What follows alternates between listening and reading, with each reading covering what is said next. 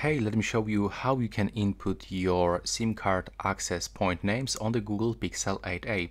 So first you will have to go into the settings, and then open a network and the internet. Now click on the internet and click on the settings icon next to your SIM card name. Right now you will have to scroll down and below you will find the access point names.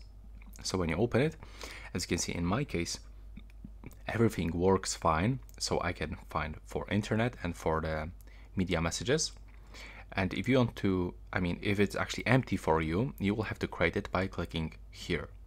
And here you can find all of these access points. So I actually cannot help you to fill this specific data here because it's actually dependent on the which mobile operator you are with and also on the country where you live. So what you have to do is actually to go to your operator website or call, or call him and ask him for the specific data that you need to enter right here. So let's say if there's like some information that you need to change the authenticating type, you have to click here and choose. Then the same for the APN type. You will have to input it manually. I can, for example, show you how it looks in my operator.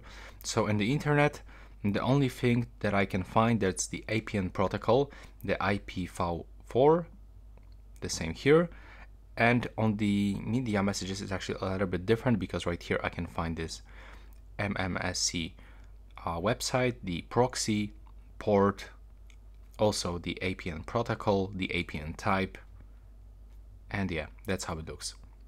So um, so if you click on these three dots in the right upper corner you can reset them to the default but it's not recommended. Um, so yeah that's all for this video. Right now please subscribe to my channel